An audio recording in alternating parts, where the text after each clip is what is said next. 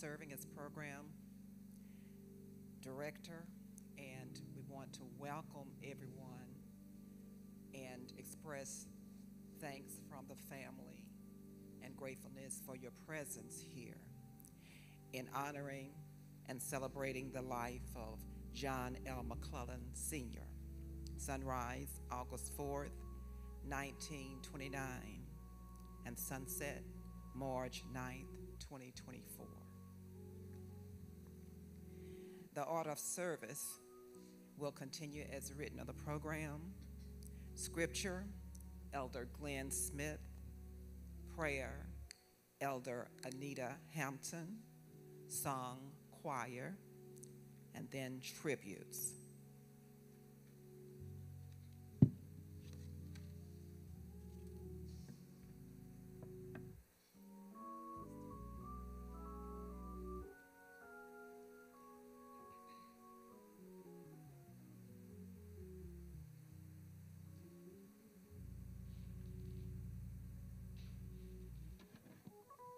Praise the Lord. This is um, an occasion that we all go through at some point in life. I've been through it with my mom, my dad, so I know how Elder John feels, and the experience is there, but it's necessary. I was looking at, I was asking God yesterday, what can I read uh, so far as a scripture that would be appropriate for this occasion? And He took me to the book of John, the fourth chapter.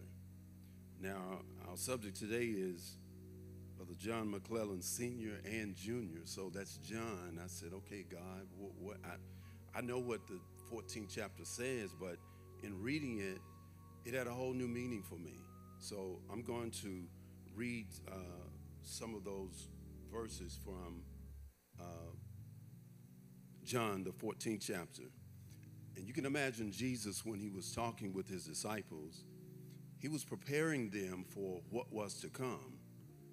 So he started with Do not let your heart be troubled or distressed or agitated.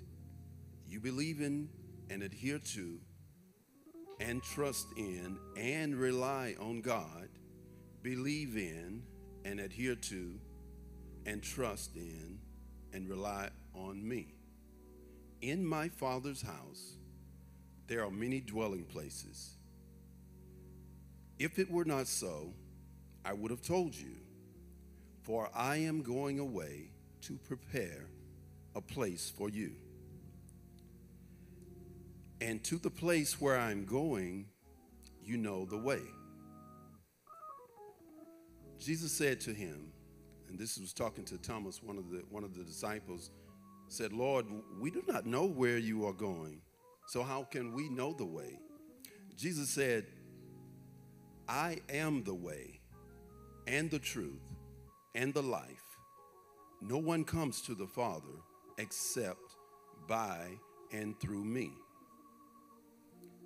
And then I dropped down to the next thing where he said, Believe me that I am in the Father and the Father is in me or else believe me for the sake of the very works themselves.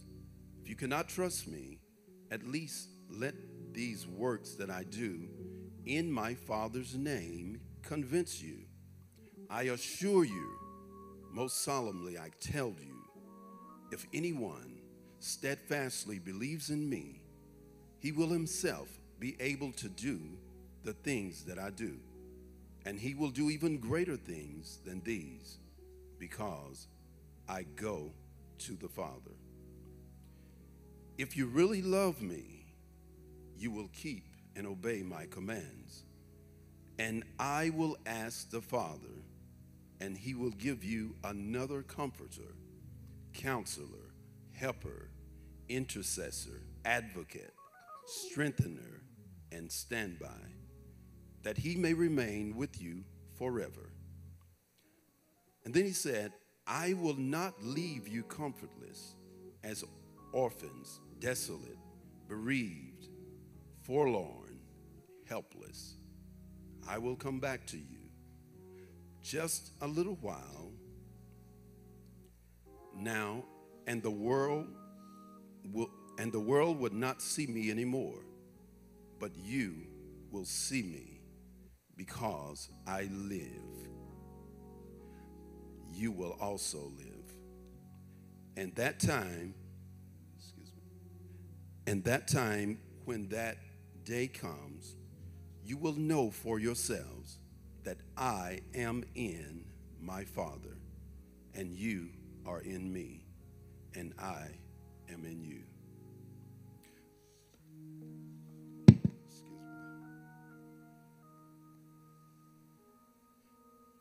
Then he goes on to say, Peace I live with you, I leave with you. My own peace now I give and bequeath to you. Not as the world gives, do I give to you. Do not let your hearts be troubled, neither let them be afraid. Stop allowing yourself to be agitated and disturbed, and do not permit yourselves to be fearful and intimidated and cowardly and unsettled. You heard me tell you, I am going away and I am coming back to you. If you really loved me, you would have been glad because I am going to the Father. For the Father is greater and mightier than I am.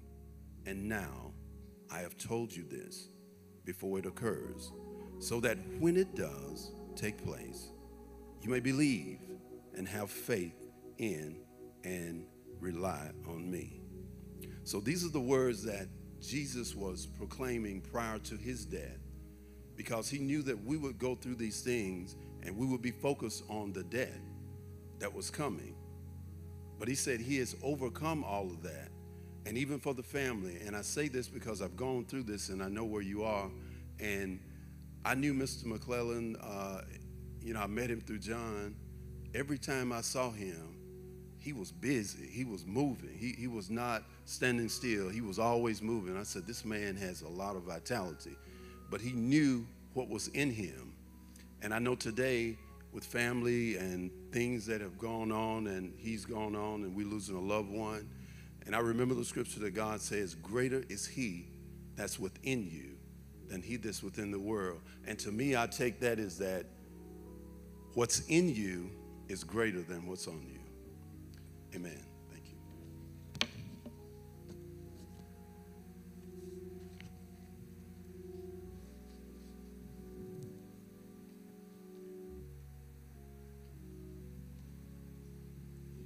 Good morning. This is a blessed morning. We're here to acknowledge our loved one that has gone on. But today is a blessed day. Just looking at you, it makes no difference number wise what it is. We know what God has in store for the rest of us. We just want to offer a word of prayer for the family, of encouragement at this time. Lord, we thank you just because of who you are. Lord, we thank you that you've blessed us to come this far and to see so many blessings in our lives. This family has gone through some things, but God, you've always been there for them. God, you are the keeper, the maker. You're there all in all. We pray your blessings upon them, God, that none should perish, but if they perish, they perish in you. Lord, we thank you that you've done a work Lord, we thank you that that work is a continuous work even in us as we portray ourselves for what you are. Lord, we ask you to comfort, to keep, and to protect the family, Lord, in this time. We know, God, that your mercy endureth forever and ever and ever. And we praise you for it, Lord. We thank you, Lord, of these beautiful people, Lord, that are right here in your presence, God. And those that could not make it, Lord, we extend this prayer to them. We thank you, Lord, that even though this day has to come, and we too shall see it, we just thank you, Lord, that the life that Mr. John has led, Lord, has been a blessing. He endured, he enjoyed his life. Lord, and at his time of going. By him being your child, God, we thank you, Lord, that he acknowledged that it's your will and not his. We praise you, Lord, for love, for grace, and for peace in the family, Lord. Togetherness, Lord, regardless of circumstances, regardless of what they go through, God, let them be a help to one another. We praise you, Lord, for those things are the things that you instill in us and those are the things that we want to be just like you, God the love, the mercy, the caring, the sharing. Everything that we need, God, is in you. We praise you for it, Lord. We give you glory right now in the presence of you, God, because your presence is evident here, Lord. We thank you, Lord, for those things that you're about to do, those things that you have done. We give you glory, we give you honor, Lord, as we proceed, Lord. In Jesus' name, we praise you right now. Amen.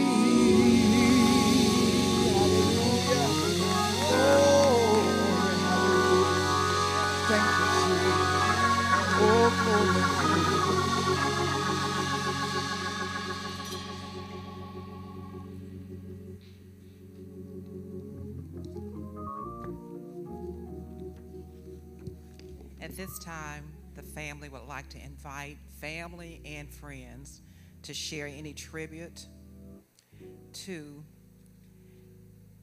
in honor of John L. McClellan Sr. And we do ask that those tributes or expressions be limited to three minutes, please. So we invite you to come at this time.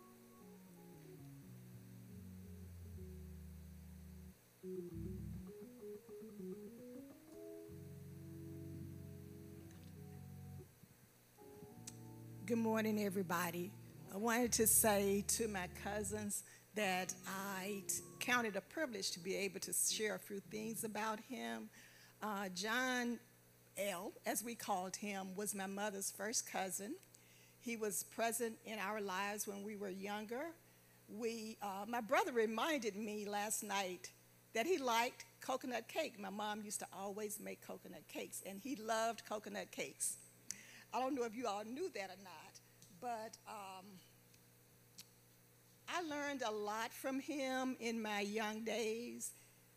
When he would come home and he would visit us, he would often tell me stories or incidents that happened to him when he was in military in the military and he actually shared to me stories of when he was injured and some of the things that he went through. I didn't understand it all at the time because I was young, but as I grew, I really appreciate him and the sacrifice that he gave for us as a country to be able to enjoy freedom. Um, the one thing that I really, in the recent years, the one thing that I really, really appreciate him for is because he knew that I was the family history person.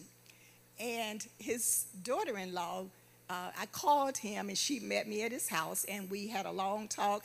We thought it was going to be maybe an hour, it ended up being hours. But he shared with me a picture of my parents that he took on one of his visits home.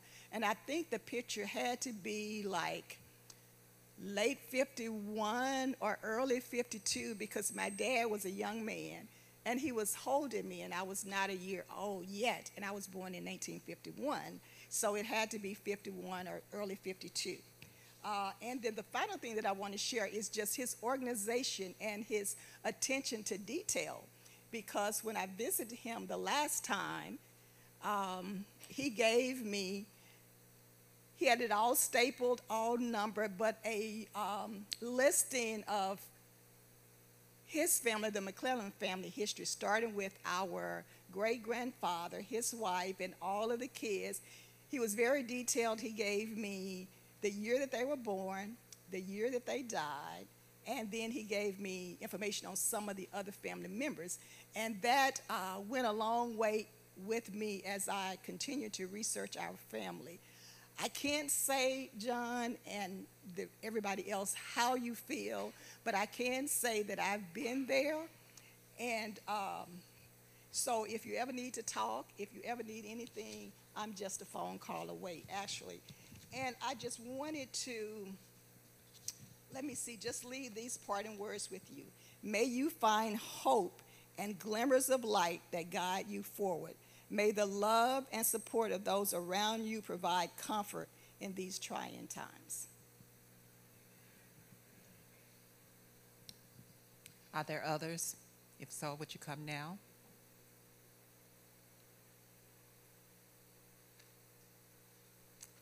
Amen.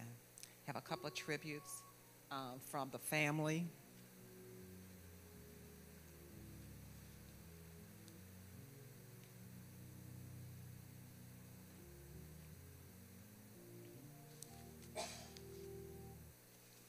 The first one that I'll read is from a daughter in law.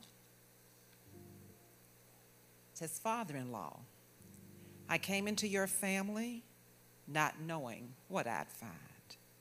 I was nervous and afraid, but you gently eased my mind. You made me feel right at home from the first day that we met. You welcomed me with open arms, and that I won't forget. You always have encouraged me with kind words of wisdom that you would say. I knew I could depend on you on any given day. You were a great father in law. You stood out above the rest. I thank God for blessing me with you, the very best. Until we meet again, your daughter in law, Tawana T. The second one that I will read is from his daughter. And on behalf of Martha McClellan Morehouse, giving honor to Pastor Steve, my brother's church family, our family, visitors, and friends. There are four words shared with me between me and my daddy on Monday, March 4th, 2024, that mended every broken fence. He awakened from his slumber, his dreams, and perhaps another good conversation with God, and saw me sitting in a chair at the foot of the hospital bed. He said, Hi, baby. And I replied, Hi, Daddy. He has said, and he has said, I love you to us, his children, grandchildren, great grandchildren, extended family, and friends. I believe we may have missed some of those I love yous, and I'm proud of you, and I forgive you, and please forgive me. And the genuine curiosity about our lives, and so much more.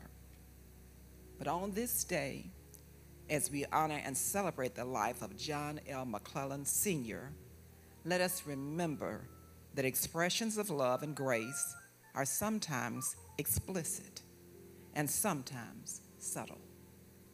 Thank you, Daddy. We love you. And that is from Martha McClellan Morehouse.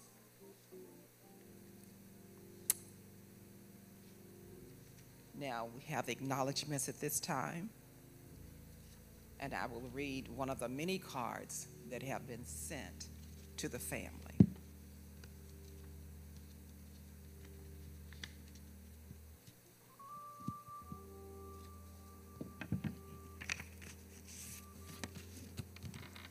Those we ho- those we hold in our hearts never truly leave us. They live on in the kindness they showed, the comfort they shared, and the love they brought into our lives, thinking of you at this sad time. It is from Elder Ellis and Rosa Wilson. We also want to acknowledge at this time, on behalf of the family, their expressions. Our family wishes to express gratitude for your prayers, expressions of love, and concern as we navigate this time of bereavement. We appreciate you and may your blessings be abundant. We will continue with the order of the program. The reflections in your program that's been written will be read silently at this time, followed by a song by the choir praise team, then the eulogy by the elder John McClellan. the closing song and benediction, choir, and Pastor Steve.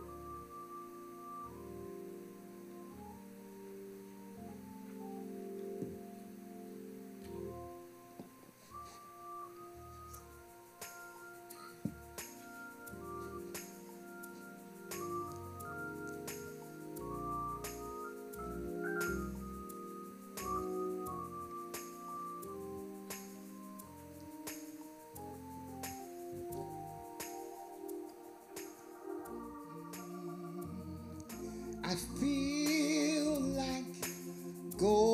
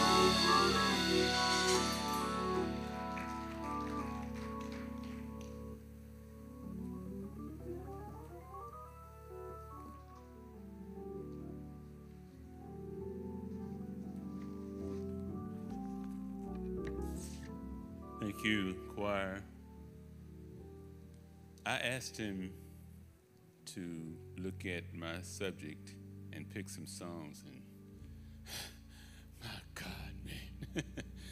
Thank you for that. That really hit the mark of what I was looking for. Thank you each for coming um, today on this occasion to celebrate with us to celebrate with us. Um,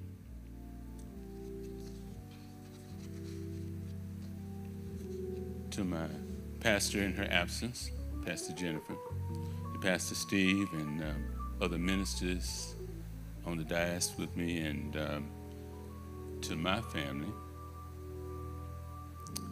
church members, visitors, and friends. I want to share from my heart what I see is the word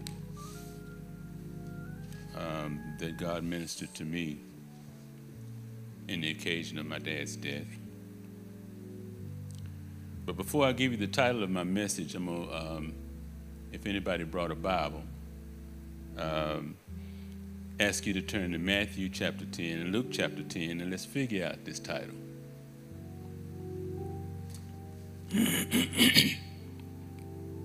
In Matthew chapter 10, as you're turning, um, you may have it on your smart devices. You know, you may not have a book, but um, way that you can look it up, you might have.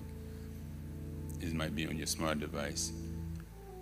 In chapter 10 of Matthew, uh, you're going to see that Jesus is taking his 12 disciples and giving them instructions, and he sends them forth to preach. But the verse I want you to look at when you get there is verse 6. where we're looking for a two letter imperative command word. and the verse says this But go rather to the lost sheep of the house of Israel. That's all it says. And though the verse 5 has this word that we're looking for, the real word, that I want us to find is the word go. He said, but go rather to the lost sheep of the house of Israel. He's talking to his 12 disciples and telling them that. And verse 5 is telling them where not to go. So I'm using verse 6 from Matthew chapter 10. Now, in Luke chapter 10, if you look over there, you're looking for that same two letter word. It's the first word in verse 3 of Luke chapter 10. And it says, Go your ways. Behold, I send you forth as lambs among wolves. And it says a little bit more in that verse also. Um, then down at verse 10, it said, If they're rejected, he tells them, Go your ways into the streets. And he says to shake the dust of that city off your feet. Now, I didn't tell you to turn to this one, but this is very familiar. Luke chapter, excuse me, Matthew 28 19 is the Great Commission verses if you look there, you're going to see that same two letter word. Matthew 28 19. It says, Go ye therefore and teach all nations, baptizing them in the name of the Father, and the name of the Son, and of the Holy Ghost. And then it goes on to say some other things in verse, um, in the next verse. The verses in Matthew 10 and Luke chapter 10 were spoken during Jesus' earthly ministry. But the verses in Matthew 28 were spoken after Jesus had died and risen from the dead. Now, we're hearing more about Matthew 28 than, uh, you may be seated, than um, Matthew 10 and Luke 10. But in the difference is in Matthew, um, the command in Matthew 28 is not the first time Jesus told him to go. I just showed you two places in Scripture Matthew 10, which was before that, and Luke 10, which was before that. So Jesus was telling them in Matthew 28 and in Matthew 10 and Luke 10, he was telling them that though he would not physically be traveling with them now that he has risen from the dead and he's going back to heaven, when they go this time, he wants them to keep going. That's the title of my message. Keep going. In the message, Keep Going, I want to say some things about a man who left some good principles for his family to use. Now, I'm not up here to paint halos on my dad, because neither he was perfect nor am I. But his life reflected some good things and examples that we should try to maintain and pass on. And uh, Kayla, I'm not picking on you. You're just the only uh, granddaughter that's here. But um, gonna, this is going to be recorded, so um, will get this too. Building a legacy means that you make an impact on future generations by leaving them wisdom, wealth, or some other influence that makes a difference long after you're gone. Spiritual legacy is a foundation that strengthens our faith, helps us navigate life's challenges, and guides future generations in their walk with God. Here are some examples that my dad practiced that I want to share with the congregation, future generations of McClellans, and, um, and anybody that wants to adopt them. They're just wise principles that I want to share with you. And it's only five of them. Number one, Dad got up in the morning. He would sit at his dining room table and pray and read passages from the Bible before beginning his day. I'm sure this room is filled with people that do exactly that. Nothing foreign, nothing different. He also took magic markers and made signs containing scriptures that he would put on, um, put out in his yard. He had a wire rack that he would stand up in the yard, racks, and he would put those scriptures on uh, racks in his yard. Now, people may have thought he was weird for doing that, but he was just willing to be a witness for Christ and to the souls that were around him. Romans chapter 1, verse 16 says, I'm not ashamed of the gospel of Christ it's the power of God unto salvation to everyone that believes. So I give that to anyone who would like to continue those practices as being a way that you would want to express your um, relationship with God. Number two, dad was determined to work. You say, well, everybody is. Not necessarily. Because of his disability, he couldn't work the jobs, normal jobs that most jobs would, companies would provide. So um, he had to move to cities where VA offices that supported his disability, you know, would take him. And that meant he moved a lot. he ended up working, he worked here in Jackson, I think, first. Then he moved, he was in Philadelphia, Washington, D.C., Houston, Texas, and finally Los Angeles, which is where his work career ended. According to Genesis chapter 2, verse 15, God gave Adam a job before he gave him family. Hello. So Adam wasn't sitting there playing video games. Uh, he was told, Adam was told, to dress and keep the garden. The word dress, Hebrew word abad, means work, till the soil, The word keep, the, the uh, Hebrew word shamar, means watch and take charge over and protect.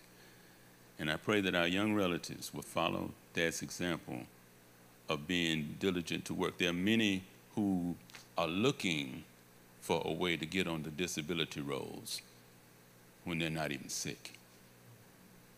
He was determined to work. Number three, Dad was a generous giver. As Jesus said in Matthew 8,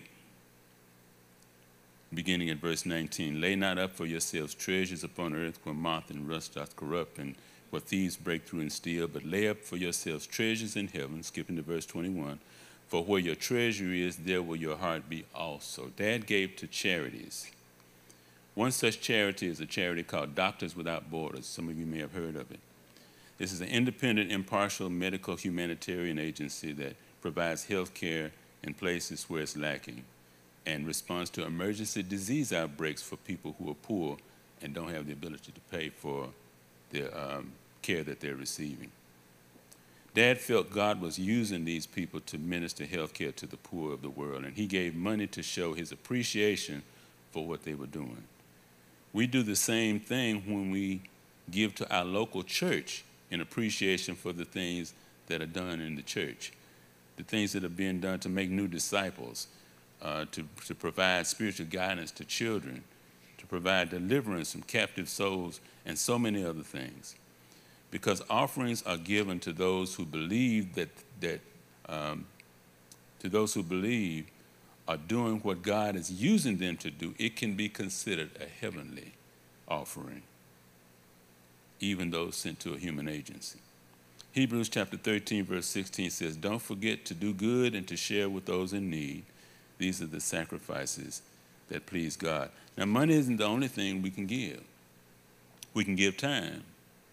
We can give time to sow into changing people's lives um, and seeing people uh, renewed and recovered from dangers, you know, habits, addictions, and things that ensnare our souls. Now that time can't be restored back to you once you've sown that time. You can, you can, if you spend money, you can get more money. But once time is gone, it's gone. But it can cause the time that you have left to provide a more satisfying fulfillment to your life. Number four, Dad was a disciplined money manager. He saved money well because of his ability to avoid the bad habits of using high interest rate credit cards and neighborhood high interest rate lending companies that only happen in our neighborhoods. He paid cash for his house, he paid cash for his vehicles, he paid cash for his other big ticket items that he owned. He could not have done that if he had not managed his money well. Uh, Elder, um, Elder Smith was there when he bought his last house. Because um, now, I didn't do that when I started out in my career. I remember uh, maxing out the Sears credit card just to go to work. You know, I was working in Thomastown and uh, going up the highway 60 miles, and uh, they sold gas. You know, I stuck my card in there every time I needed some until the car wouldn't work no more. But, you know, um, I came to this church, and this church taught us to build an emergency fund, glory to God. And an emergency fund that will pay our expenses in the case that there was an interruption in our cash flow. Because I followed that, I was able to maintain my lifestyle when I was let go from my job in August 2022 and to live from then until February 2023 with all my expenses paid.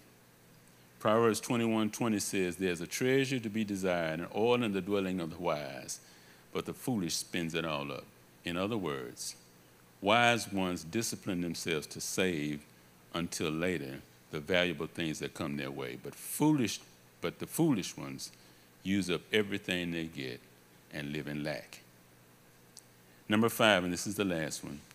My dad was determined to learn. As a young boy, he had to work for a sharecropper who I believe was um, you know, performing a racist act against him. When he was finally enrolled in school at age 11, most of us went at age six. He didn't get to go till age 11. The landlord would see him walking on his way to work, uh, to school, and he would demand that he go out in the field and remove grass. And so he would ask him, you know, can I do that after school? And he said, no, go do it right now. As a result, he missed many days from school. But just like Frederick Douglass, if you've ever read about him, Dad had a friend named Clyde. And when they got finished playing basketball on the court, Clyde would take a stick and show him how to do mathematic problems in the dirt. Glory to God. That was a friend. After the Korean War, the GI Bill helped veterans get an education, so Dad went to Jackson College for Teachers, which is now Jackson State. But for some reason, he didn't finish.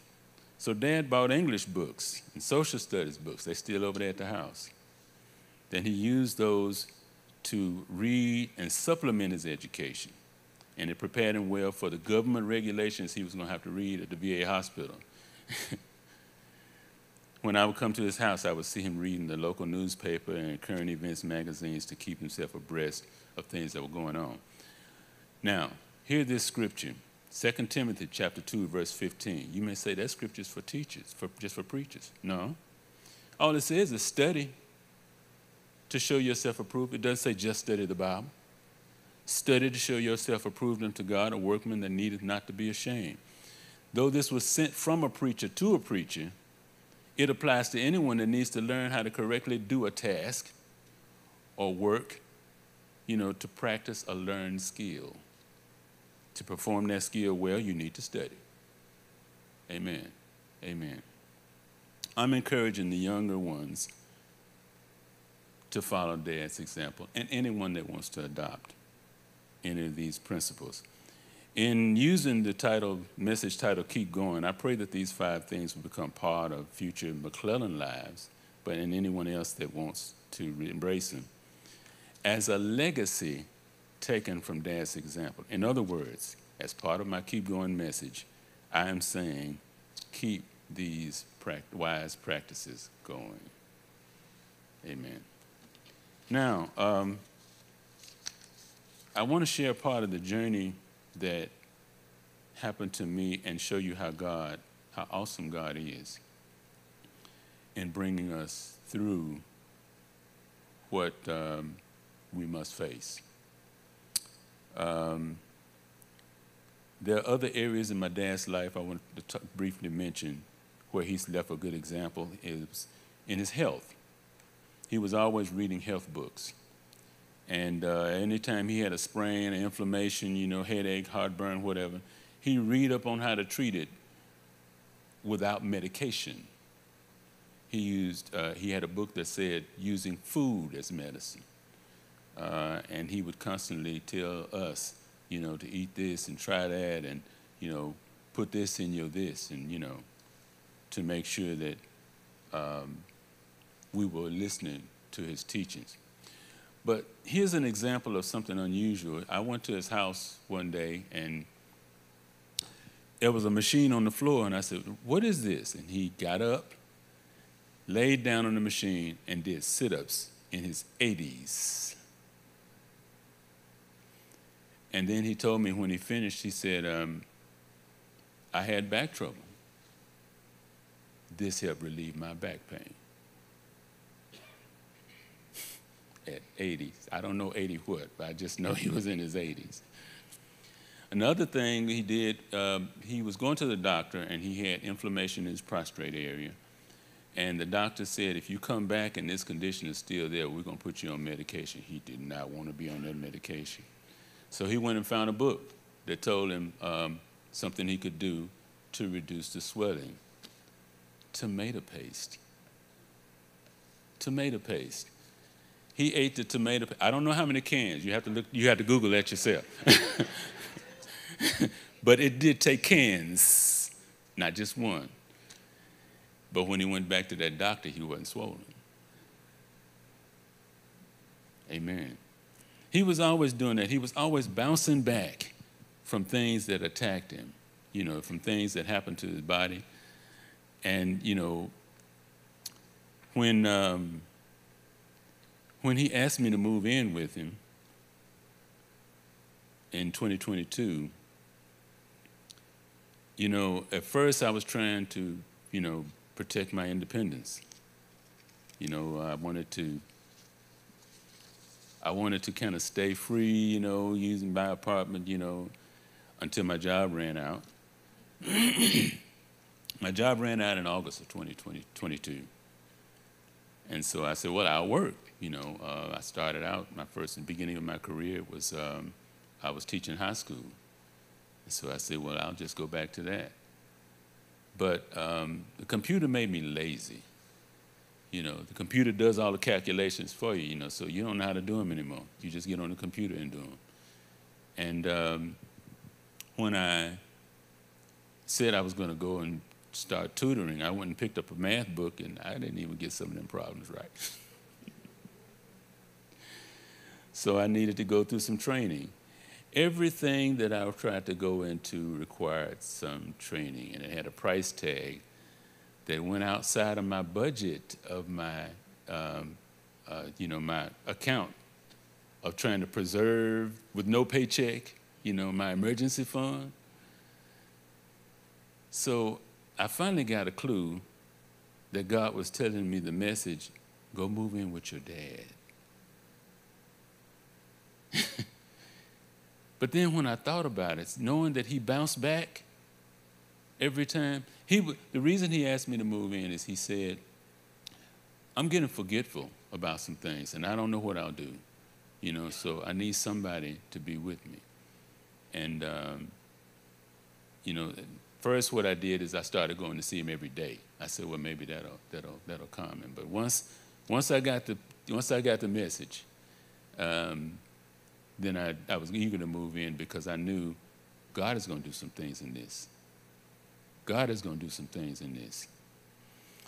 So God answered a lot of prayers. He solved a lot of our problems for both of us um, as I stayed with him. Yeah, we butt heads, as humans do. Um, we had to work through conflicts, seek peaceful resolutions, and avoid hot button topics that was going to bring an argument. Pick your battles. but but all things worked together for good when we were together. On March the 1st, we had to take Dad to the hospital because he couldn't walk. You know, he had asked me to come and bring him up to get help, him to get to the bathroom, which was unusual, but he had done that before. And um, I took him, helped him, walked him to the bathroom. But on the way back, he couldn't move that right leg. And so I had to give him a place to sit until I could get him back to the bed with some rolling, you know, uh, device. So I decided, no, he going to need to go to the hospital and find out why, because he was walking yesterday. So the doctors, when he got to the hospital, the VA hospital, they uh, they told us that he had stopped taking some of his daily medication, and that was the cause. So they gave a, a intravenous um, injection for um, the daily medications that he was taking while he was in the hospital. But they also found a heart condition that he was diagnosed with back in 2023, which made it hard, hard, hard, H-A-R-D, for his heart, you know, to, to put the blood through his body. Now, I was praying about all these conditions. I was seeing God answer prayers left and right, you know, when I was living with him. Um, but as fast as one thing would get solved, two more would show up. And he was becoming more and more helpless every day. My constant prayer for my dad was the peace of God in his heart, the peace of God in his environment, wherever he was, whether he was at home, whether he was in, a, in the car, riding with somebody. He had, he had given up driving, which was wise, you know. He had given up cooking, he didn't want to leave the stove on, you know, and burn up some food or maybe have gas in the house, you know, so he gave up cooking. And um, he did a lot of things to protect himself, which was very wise. Um, and so my constant prayer was for him to have peace and to have soundness of mind. The Bible says God has not given us a spirit of fear, but power, love, and a sound mind. To, to, to, to counteract the effects of senility and dementia, a sound mind. I prayed over my daddy every day. Many times I would see God answer those prayers right before my eyes. He had hallucinations, and he would be shouting at somebody that wasn't in the room. And I might be laying in my bed saying, Lord, I, I, speak peace over my dad. I speak peace over his environment. I speak soundness to his mind and wholeness to his body in Jesus' name. And I would say that until that voice died down in this room.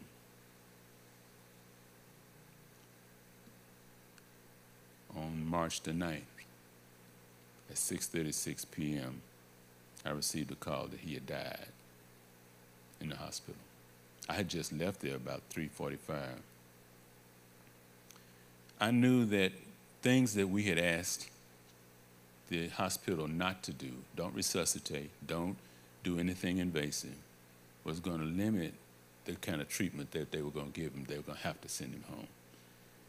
And so I said, well, let me go to the house and start getting things together. They'll probably send him next week. And little did I know he wouldn't be coming home. Now, before his death, I would always ask him, was he in pain? You know, and he usually wasn't. It was only, and if he was, he'd tell you, you know, um, his, his, his right leg was the one that stopped being able to move, but it was his left leg that had the pain from time to time. Go figure.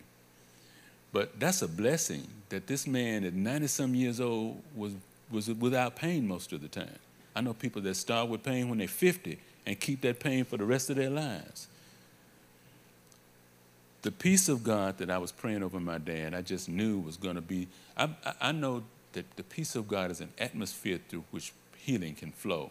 Because usually, when anxiety and fear and worry blocks the flow of healing. The Bible says that in, um, uh, in one of Jesus' parables, he said, you know, uh, the cares of this life, the deceitfulness of riches, it chokes the word of God and it does not produce. So that's why I was speaking peace over him. But that peace that I thought would help him heal, that peace was not for his physical bounce back that I was used to. It appears that it was there to help him let go because it was time to come rest.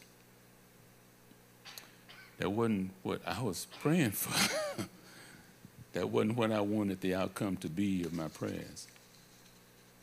Now I knew he was getting tired and getting old, and he was losing himself. He could see that. His daily life on earth only brought more problems in his mind and body.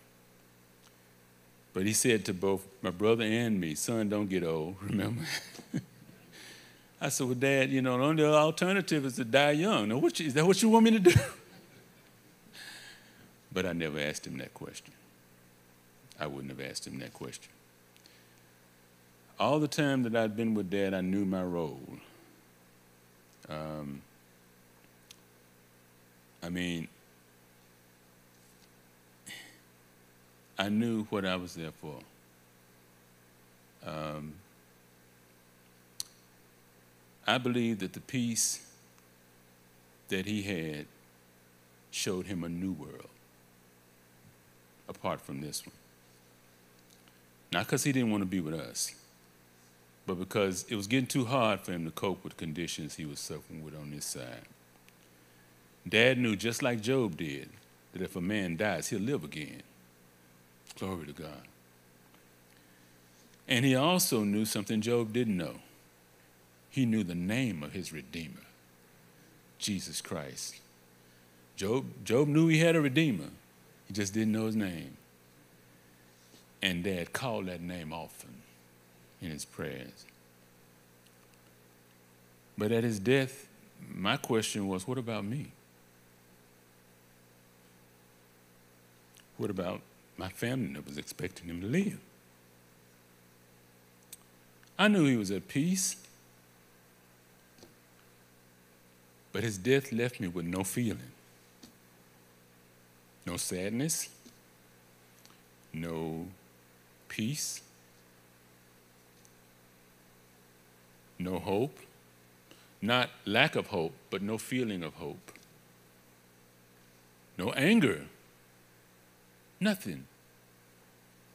When I knew they were going to send him home, I knew it was going to be a lot of work, okay?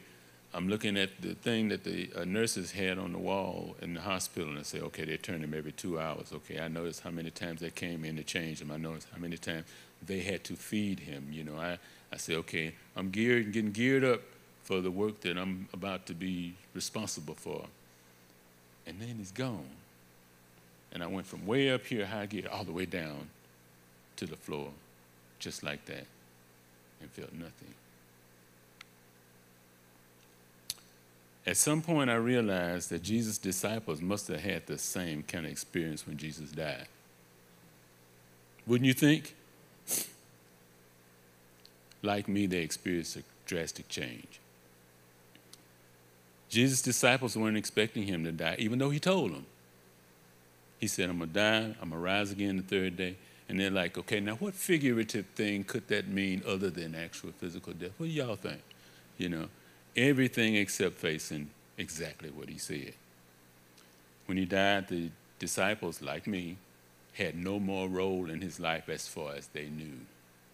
He's going, he died, he's going to stay dead like everybody else.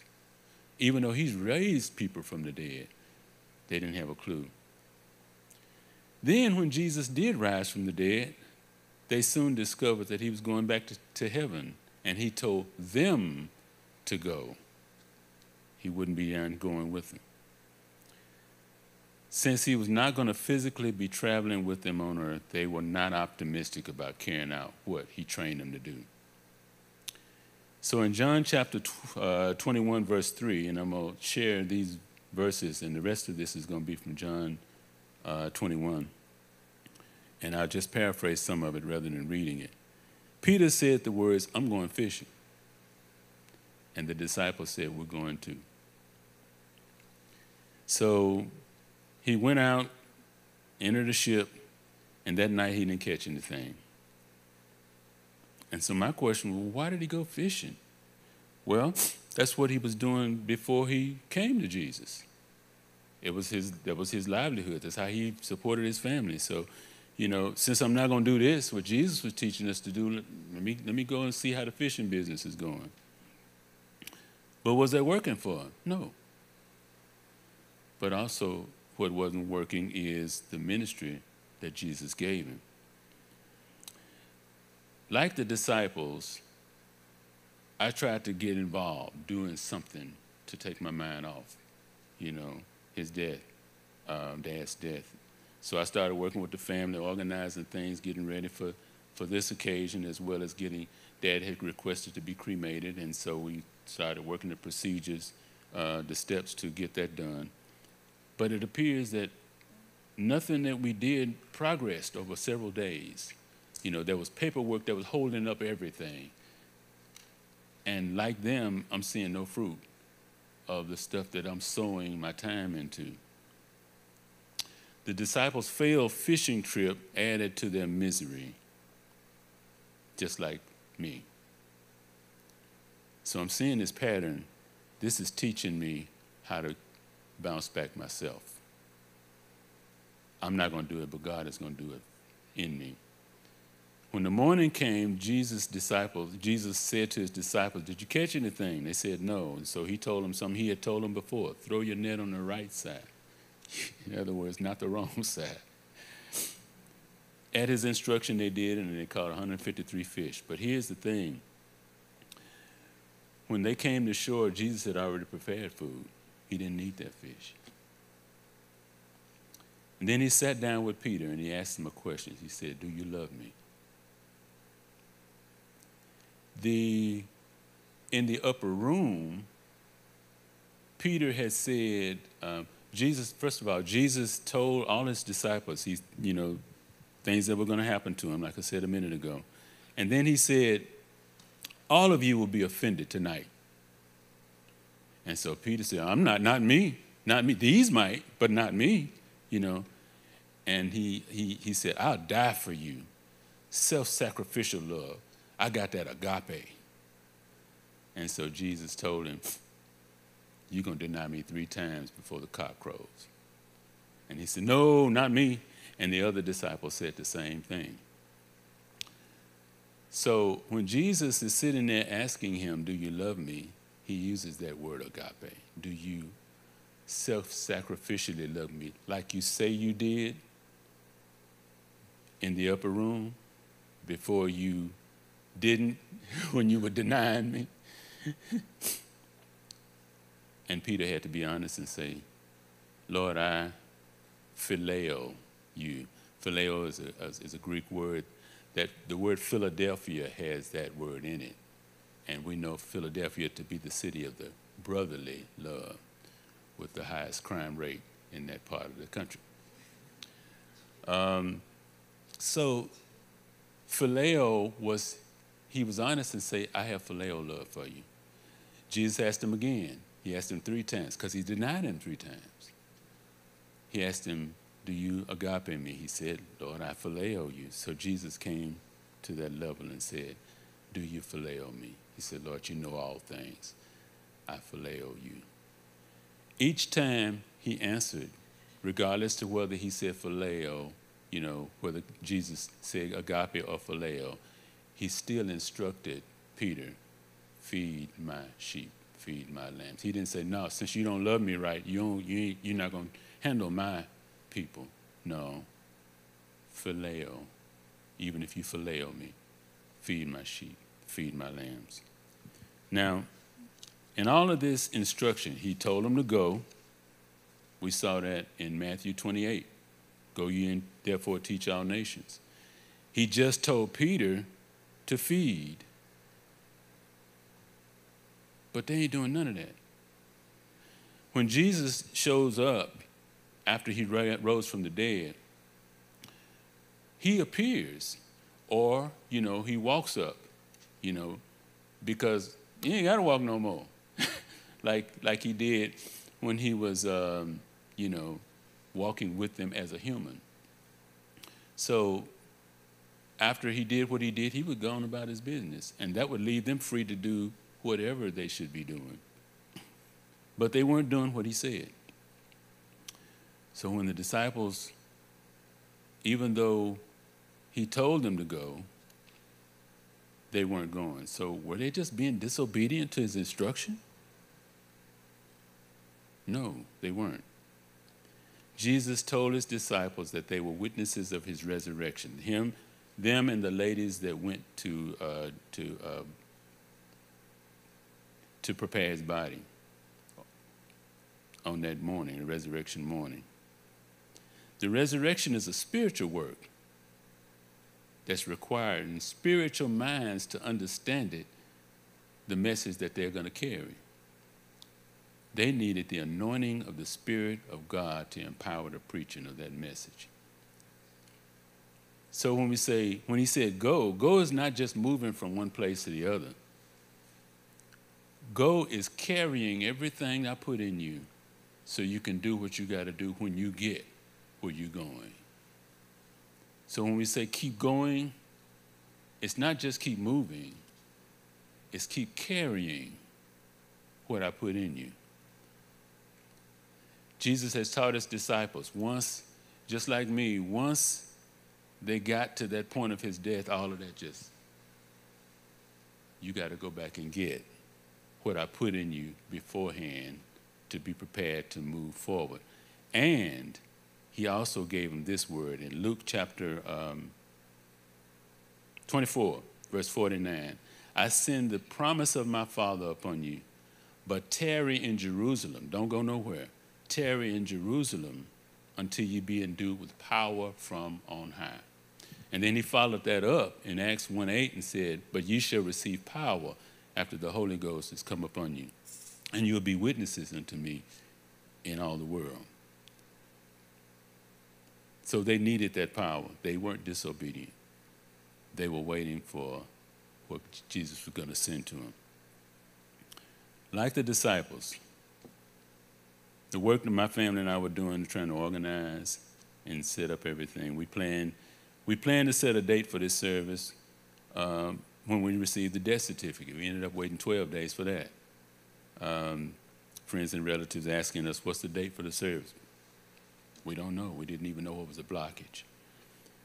And as I attempted to write this message you're hearing right now, I, re- I experienced writer's block so many times. Tear it up and start a new one. Read that, say, this is it, you know, read over it again, tear it up and start a new one. It was then the Lord led me to go and study the struggle the disciples had when Jesus rose from the dead. Well, Jesus didn't raise up my dad from the dead, but he did lead me to apply those principles of the disciples and the things that they went through to find the guidance of how to move forward in the preparation for this service and completion of the message. I needed to look at what God did for the disciples in their similar situation to strengthen my faith to carry out the effort of ministering to those who are present today and to all who will hear this by, um, by video. I gained the assurance from the Lord that the Spirit of God would be at work in this room this morning, glory to God, ministering his comfort, peace, hope, and even joy to the worshipers that are here today. I noticed that on the day before the day of Pentecost, Jesus speaking to Peter, he said something after he told him, Feed my sheep. He told him, Peter, when you were young, you would dress yourself and you get up and go wherever you wanted to go. But Peter, when you get old one day, somebody else is going to dress you and take you where you don't want to go. And the next scripture said, This signifying what death Peter would glorify God with. Now, if anything, the next thing Jesus said after he told him that is, Follow me. The next thing I would have been doing is leaving him. but telling me that I'm going to die like you died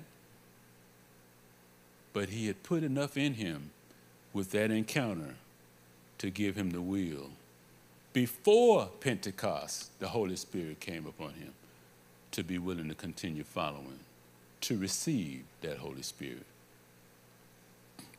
My problem wasn't that I was afraid of public speaking. My problem was I lost heart.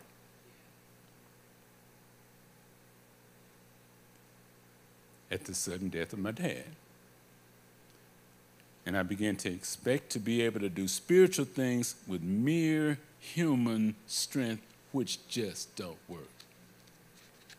The natural man understands not the things of the Spirit of God. The carnal man doesn't either. Both the disciples and I had to recover things that we left behind. Let me share with you what those things are. We needed to go back to purpose that God had been revealing to us to help us accomplish His will in our lives and the lives of people that we got to minister to. We had to accomplish, recover conviction, which is the persuasion of the truth that the things that we're supposed to do can be done in spite of our disappointment.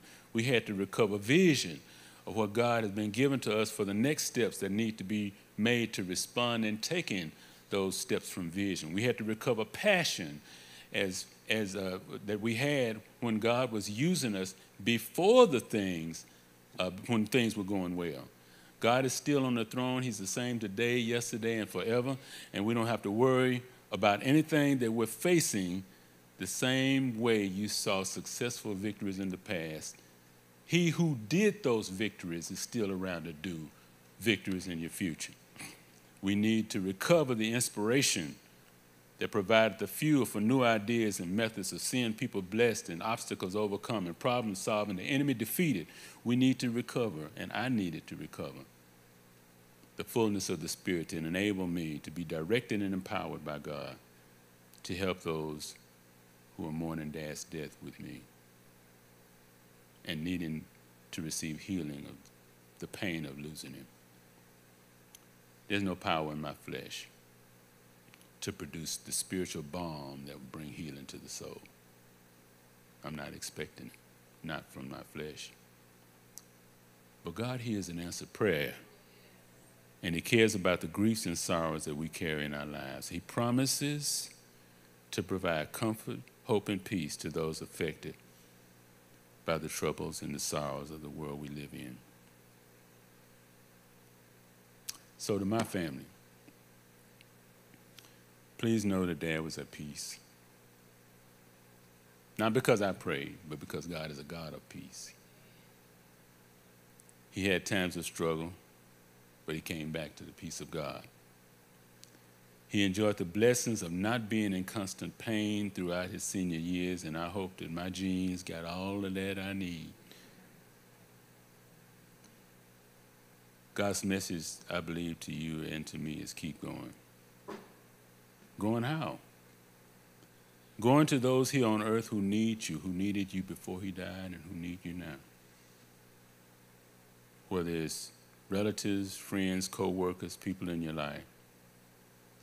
Don't lose heart or lose sight of the valuable purpose God has given each of you. If you sense yourself feeling useless and lacking meaning, remember that remember who made you. he ain't made nothing without meaning and purpose. And the abilities that he's given you and the people that those abilities have already helped. And they told you how much that you helped them. That came from God. And the fact that you're still here, the fact that you're not finished, or you wouldn't be here, that we got more work to do. Keep going. Doing what you're here for, fulfilling purpose and let God energize it and take it to the next level.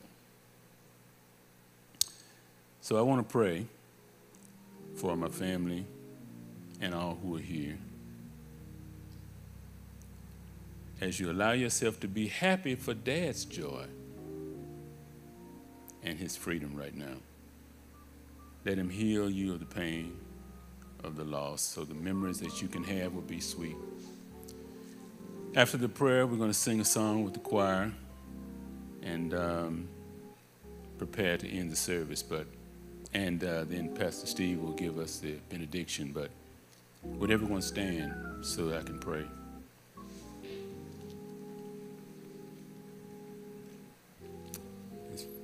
For those who in the family as well as well wishers who are here, I thank you so much for coming and sharing with us. Heavenly Father, I pray for our fam- my family and for this family of believing people. I pray for the well wishes also that came to celebrate your home, the homegoing of my dad. I speak peace to them as they face future days. I speak peace to my family as they face future days without dad here with us. I pray the comfort of your spirit be upon them as you carry out your ministry of comforting those who mourn and look to you for hope. By your anointing, God, I pray that you would heal hearts that are broken with disappointment over dad's passing.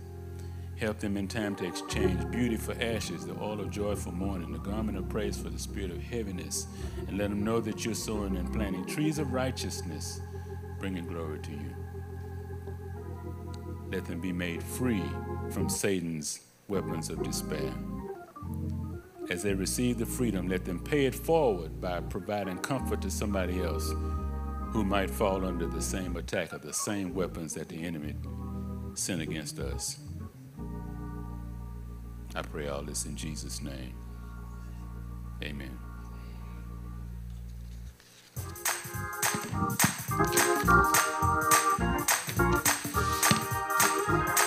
Oh, I'm living this life. I'm living this life just to live again. And with the Lord, And with the Lord, I know that I shall reign. I shall not stray. I shall not stray. With him I'll stay. With him I'll stay. He'll welcome his children. Welcome his children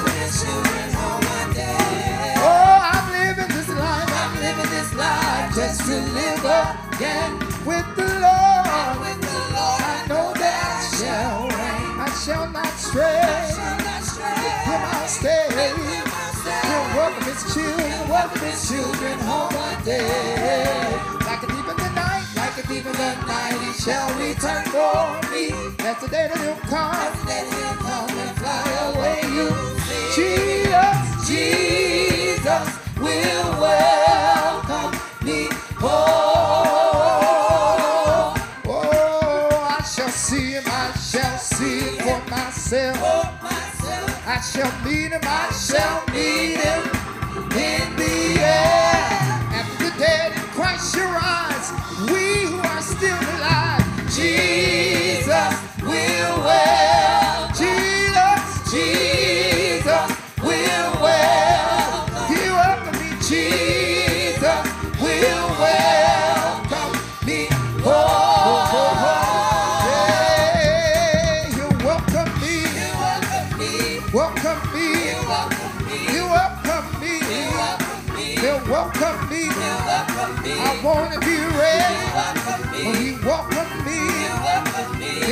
He'll welcome me. He'll welcome me.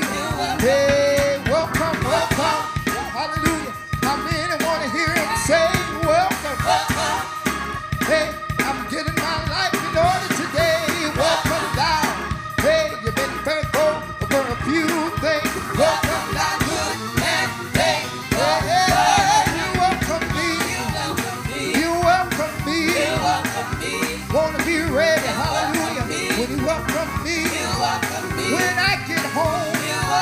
There'll be no more sickness.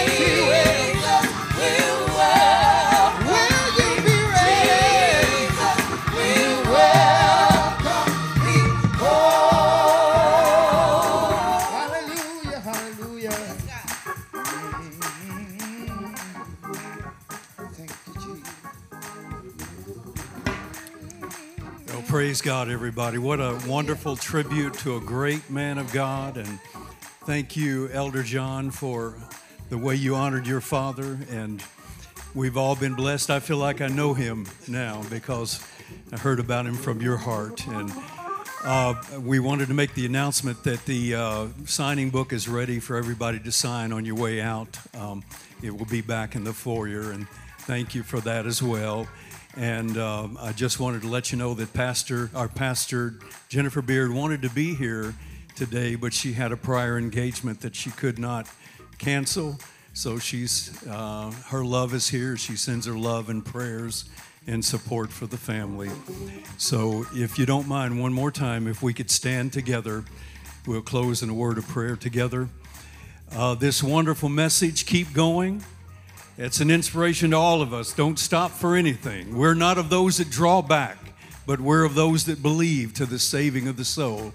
It, it makes me think of a definition of a winner that God gave me to, gave to me.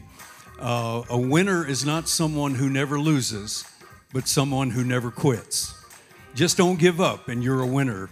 Give up. Keep your eyes on the one who has his eyes on you, and know that he's always going to be for you. Let your life shine for him, and keep going no matter what, because the reward will be great.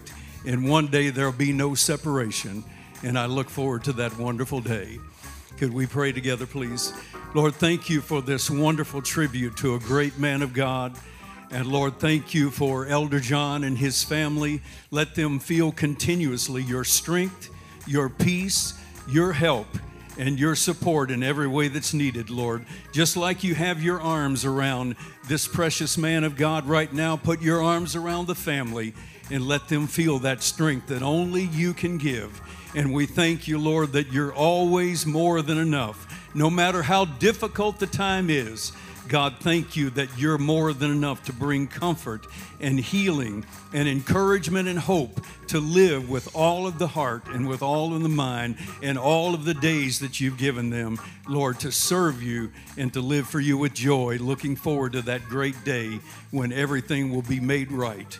And God, we thank you for the life that we can live now and the life that's to come.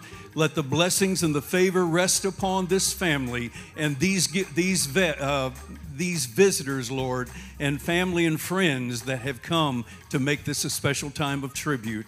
God, we thank you for the blessings of God flowing continuously over their lives. And God, we give you all the praise and we commit this time together and the days that are ahead with your strength and peace into your precious hands for the glory of God. For it's in Jesus' name that we pray. And everybody said, Amen. Amen. God bless you. You are dismissed. Hey, keep going on, keep going on, keep going on, keep going on, keep going on,